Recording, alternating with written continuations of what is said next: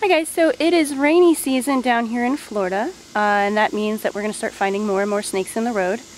Uh, so I'm going to go ahead and clean out my freezer of the snakes that we've collected over the past couple of months. We get them here and there during this, you know, the, the colder months, but this time of year they start really coming up and we're going to start getting more and more. So I'm cleaning out my freezer in preparation. So I'm going to go ahead and do a quick video on how we go ahead and skin and pin and dry them and then uh, that's how Mark uses them for tabs. This is how any bowyer's going to want them if you want to send out some uh, snake skins to put on your back of your bow. Uh, so let's get to it. Alright, so we've got a couple species here today. Um, this is the Eastern Diamondback. We've got the Pygmy Rattler. Um, this is a banded water snake. Let me try and pull him into the light a little bit so you can see him. They often get mistaken for the, um, the cottonmouth or the water moccasin. And here is a nice water moccasin, so you can kind of see how similar they are. You get the two of them together. So you can see. See, very similar. Often get mistaken. Alright guys, I am going to use rubber gloves. I usually don't, but because most of these guys were found as roadkill, and I've got a couple small cuts on my hands, I'm going to go ahead and glove up. I'll start with this guy right here. He's a uh, nice water moccasin or cottonmouth. And I like to work with them frozen. It's a little bit easier to work with them, plus it's uh, not quite so unnerving. Um, they do take a while, their nerves take a while to kind of die off, so even if their head is off, they are still kind of moving when they're fresh. And uh, gets a little unnerving, a little freaky. So I like to freeze them, and then that way I know that they're dead because they're not moving.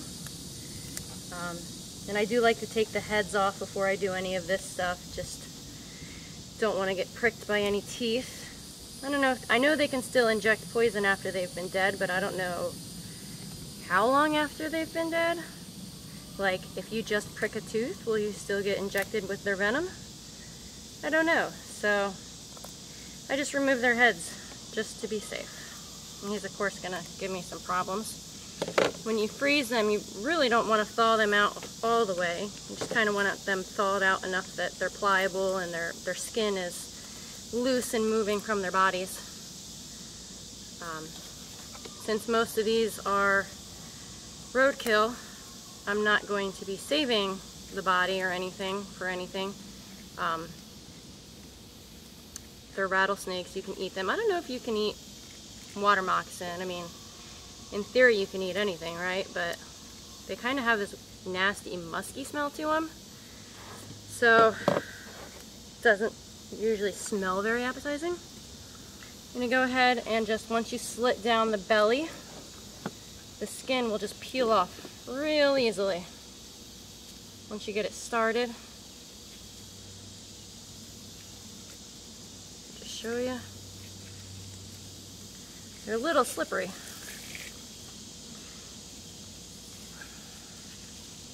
Go ahead and just rip straight from all the way back to the vent.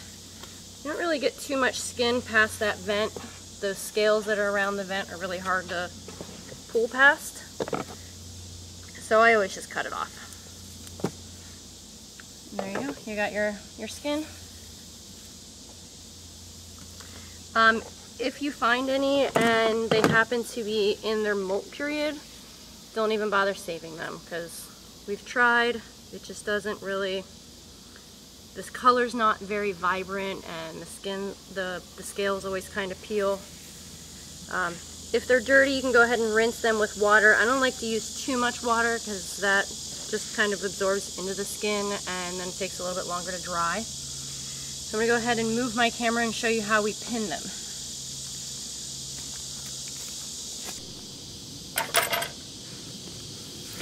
Alright, so here's that skin again close up. This is the uh, water moccasin. You can see it's got some really neat banding and stuff. We're going to go ahead and pin this. This is just some uh, foam insulation from Home Depot. And uh, we've used a couple different things, but this seems to kind of work the best. And then you just pin it just with some normal normal pins seed pins, I think is what they're called. And you want to try and get them as straight as you can. So I usually pin the top and then there's a line right here that you can barely see in the middle. So you just kind of want to get that straight as you can. And then working on either side, you're just going to pin and go the whole way down. And stretch as you pin. You want to do the flesh side out. Okay, let me I usually like to, once I get started, I'll do two at a time. That way I can stretch it and pin it as I go. And that keeps that, that center line nice and straight. So just pin it to get it started and then pull them out and stretch.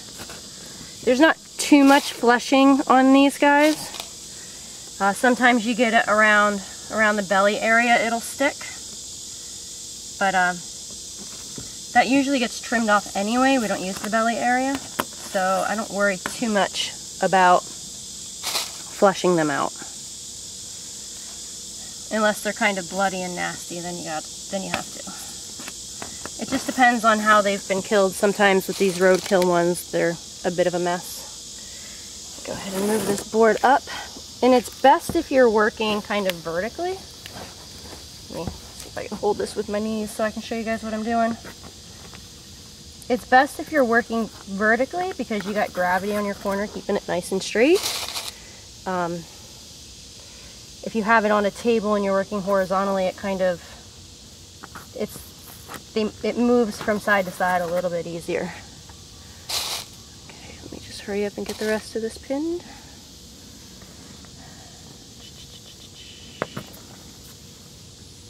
Yeah, I've been noticing a lot of um, I found some baby black racer snake eggs the other day in the yard. So they're hatching.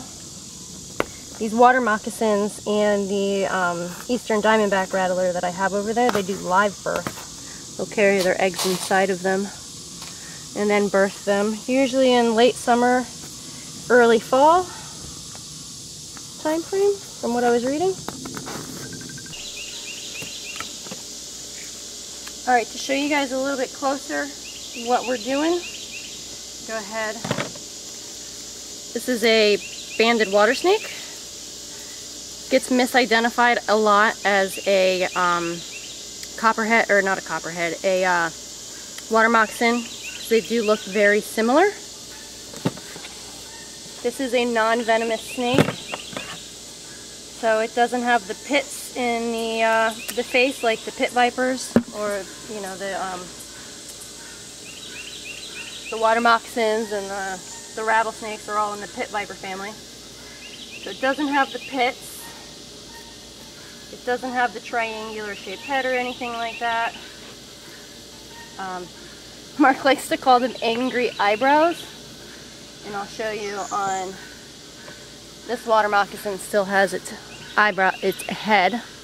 So Mark calls these angry eyebrows. Doesn't he just kind of look a little angry?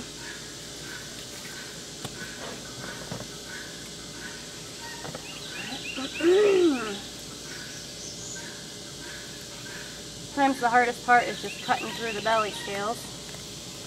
Trying not to cut into the gut.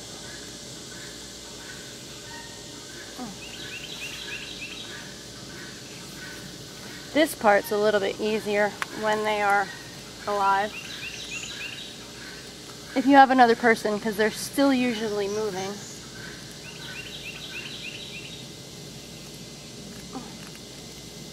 Unless they've been dead for a little while anyway. Cut right down the middle until you get to the vent. Nice cut. And then I'm going to peel this away. Try and do this so that way I can show you what I'm doing. Just getting my finger in there. Peeling that away. Start on the other side. kind of meet in the middle there. Oh, oh split a little bit. All right. Okay. I got a hold of it, and I'm just going to go ahead. Pull it apart.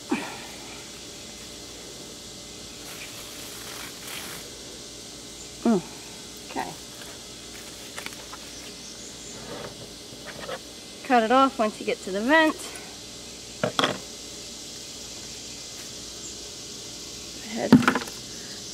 Drop the body in a bucket. And there we go, we have our nice banded, banded water snake. Like you can see, they look very similar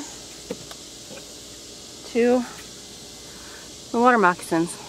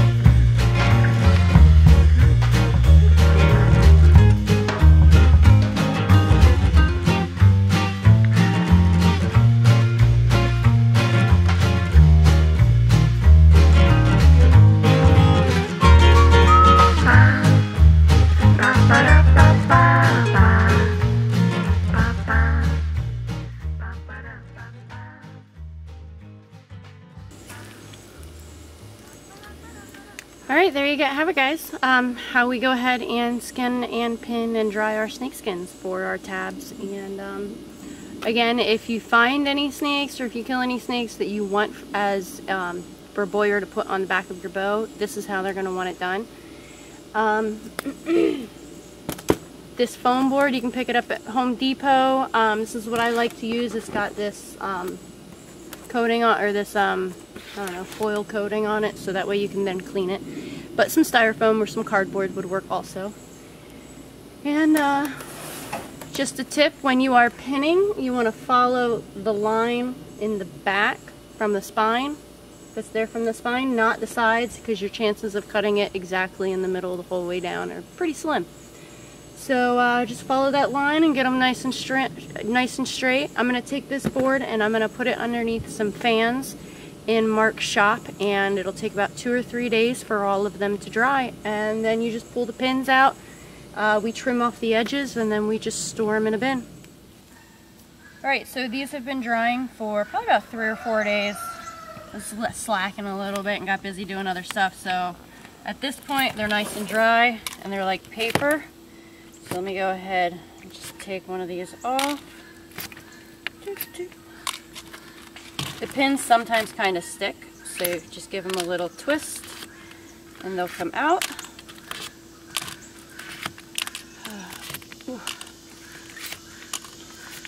Like I was saying earlier, some of these are a little too small for Mark to use for his project, so we'll save them and use them for other things.